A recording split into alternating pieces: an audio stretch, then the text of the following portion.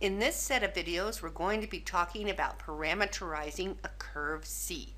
And what does this mean, how to do it, everything we know about parameterizing a curve C. First step, what do we mean by curve? We mean, and these are our keywords, a simple, if not completely smooth, at least piecewise smooth, and we will decide whether it's open or closed. What do we mean by simple? It doesn't cross itself. So what does this mean in one dimension? It means that we start at one point and we end at another point and we have gone from the first point to the second point. We don't necessarily have to go from left to right, but we can't go, come back, and go again. It has to go from one point to the other point without coming back on itself. In 2D, where we're most familiar with working, it would mean that we have a curve. It can turn around like that, that's okay, but it cannot turn around and cross itself. This is not okay. This is not a simple curve. How about in 3D? Here is a curve, and here's our x and our y and our z axes. It might look like it's crossing itself, but of course it is not. It is the helix, and it is not crossing itself in 3D. So this is a good simple curve in 3D. What else do we need? We need smooth. That means it has to have derivatives at every point. Well, we don't actually have to have it totally smooth, but we need it to be piecewise smooth.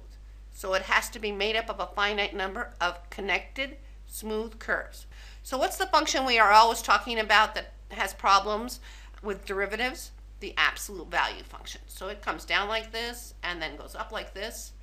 And at this point right here at 0, 0, there's no derivative, right? Right there. But that's okay here. So we're going to write okay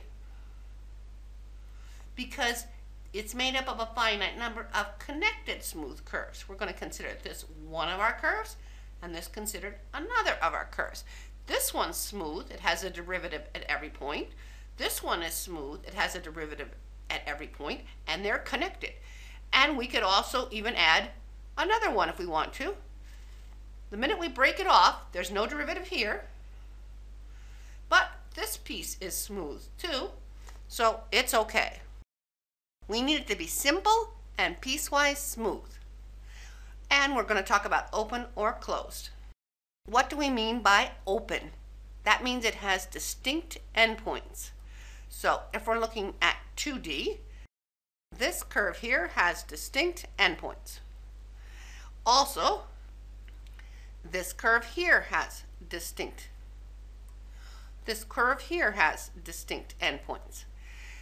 If it's closed, the endpoints coincide, but you're not allowed to have any other double points.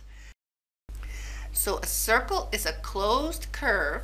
The endpoints coincide, but we have to make sure that we only go around it exactly once in order that it is a closed simple curve.